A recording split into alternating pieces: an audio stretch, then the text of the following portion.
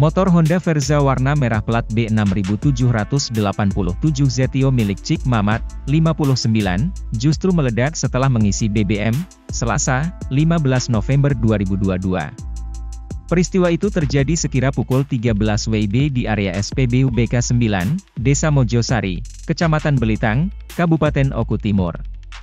Insiden itu sontak saja membuat masyarakat sekitar panik, beruntung api tidak membesar dan menyambar kendaraan ataupun bangunan di SPBU. Kapolsek Belitang IAKP Zahirin menjelaskan, kejadian bermula ketika korban mengisi BBM jenis Pertalite di SPBU itu. Setelah itu korban bergeser dan menghidupkan mesin kendaraan di jalur keluar SPBU.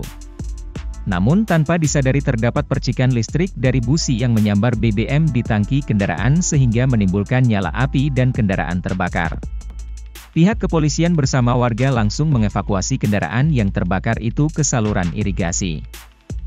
Pihak kepolisian telah melakukan pemeriksaan terhadap para saksi dan mengingatkan pihak SPBU dalam hal penyediaan apar guna antisipasi apabila kemungkinan ada kejadian serupa.